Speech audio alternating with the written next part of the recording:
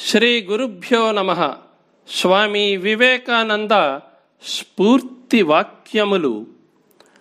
బహుజనహితాయ మీరు మీ శరీరాన్ని మనస్సుని వాక్కుని ప్రపంచ సంక్షేమం కోసం ధారపోయాలి.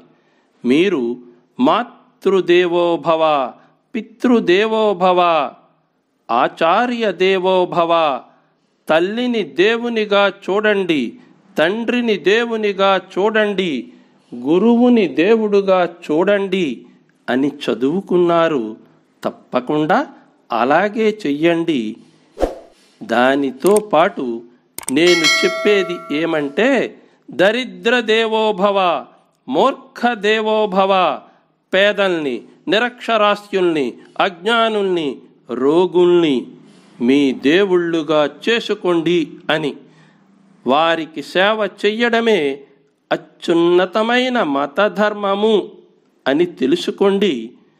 మతము యొక్క రహస్యము కూడా ఇదే. మత రహస్యము ఆచరణలోనే ఉంది కానీ సిద్ధాంతాలలో కాదు. తాను మంచిగా ఉండడము అందరికీ మంచిని చెయ్యడము ఇదే మతం అంటే స్వామి వివేకానంద స్వస్తి.